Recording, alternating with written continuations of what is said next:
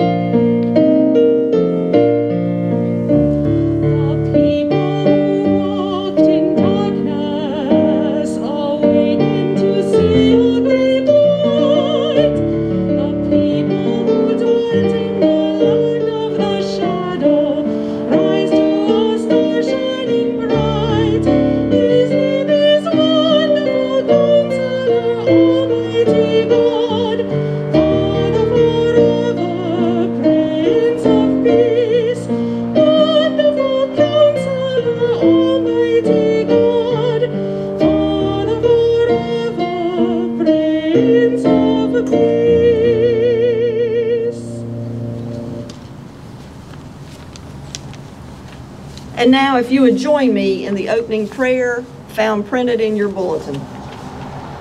Let us pray. Holy God, we gather to hear once again the story we long to hear year after year. We gather to sing with joy of the birth of the Christ child, the source of our hope and your living sign of love. May your Holy Spirit move among us so that we hear not only the voices of those gathered here, but the voices of angels and shepherds, and the whisper of your presence among us. Amen.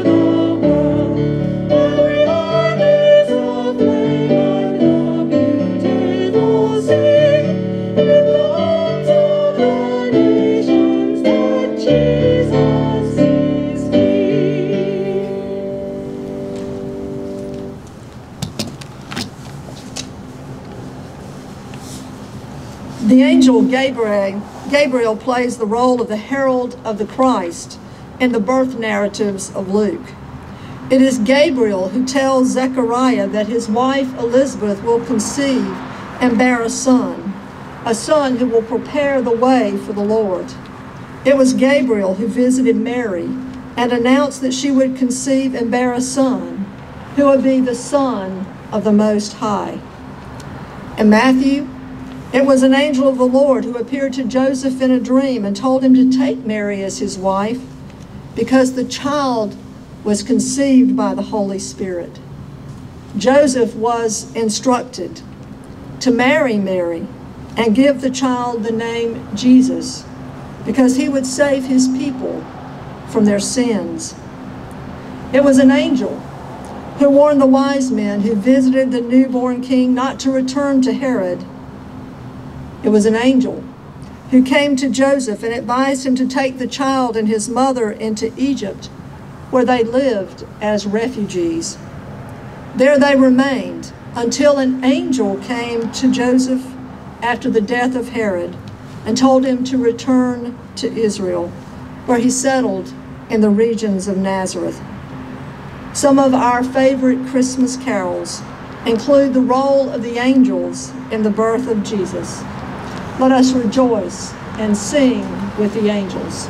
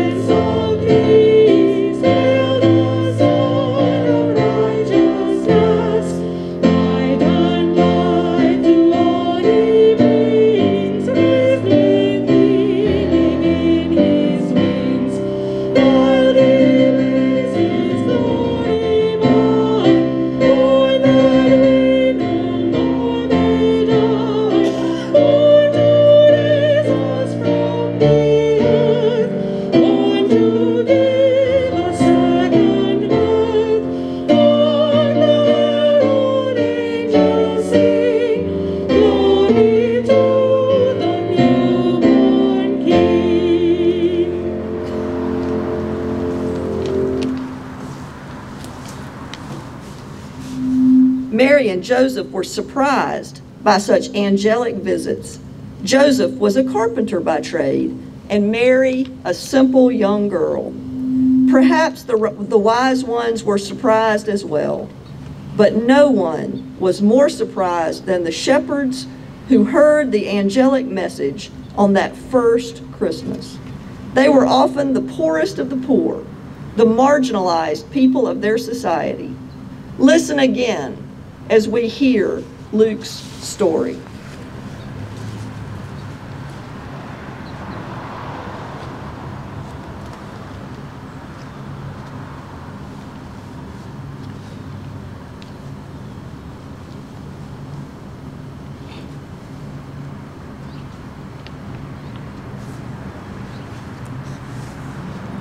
Now it came to pass in those days that a decree went forth from Caesar Augustus that a census of the whole world should be taken. This first census took place while Cyrenius was governor of Syria, and all were going, each to his own town, to register. And Joseph also went from Galilee out of the town of Nazareth into Judea to the town of David, which is called Bethlehem, because he was of the house and family of David, to register together with Mary, his espoused wife, who was with child. And it came to pass, while they were there, that the days for her to be delivered were fulfilled. And she brought forth her firstborn son and wrapped him in swaddling clothes and laid him in a manger because there was no room for them in the inn. And there were shepherds in the same district, living in the fields and keeping watch over their flock by night. And behold, an angel of the Lord stood by them, and the glory of God shone round about them, and they feared exceedingly. And the angel said to them, Do not be afraid, for behold, I bring you good news of great joy, which shall be to all the people. For today in the town of David, a Savior has been born to you, who is Christ the Lord. And this shall be a sign to you. You will find an infant wrapped in swaddling clothes and lying in a manger. And suddenly there was with the angel a multitude of the heavenly host, praising God and saying, Glory to God in the highest, and on earth peace among men of good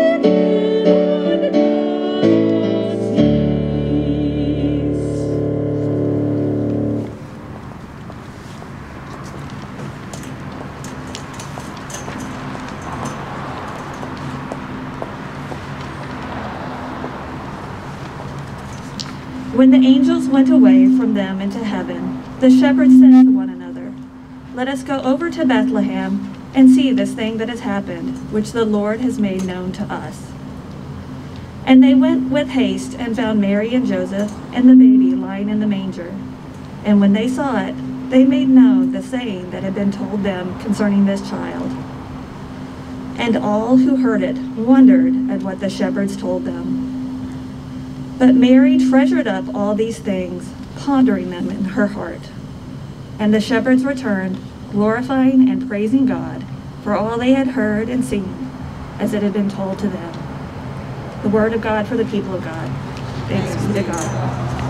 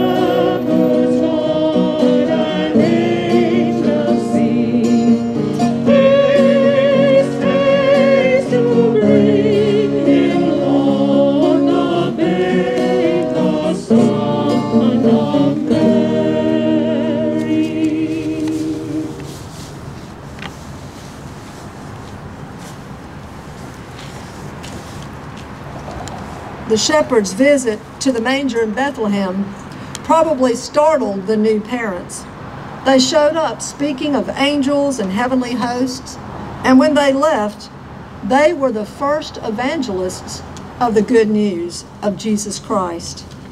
Yet they weren't the only visitors to the child born in Bethlehem. Wise ones from the east followed a star to the Holy Land. They went to Herod's palace in Jerusalem to find that newborn king. But Herod was unaware. He sent for the scribes and the chief priests of the land who told them that the long awaited Messiah would be born in Bethlehem. The wise ones then followed that same star from the palace of Herod to the humble dwelling of the Son of God. And there they bowed and worshiped Christ, the newborn King. We too are invited to follow the star, to make our way to the manger. We are invited to join millions upon millions of believers in telling the great good news delivered to the shepherds by angels. Today, in the town of David, a Savior has been born for you. He is the Messiah, the Lord. Let us rejoice as we sing and share the great good news of Christmas. Jesus Christ is born. Go tell it on the mountain, over the hills and everywhere. Go tell it on the mountain that Jesus Christ is born.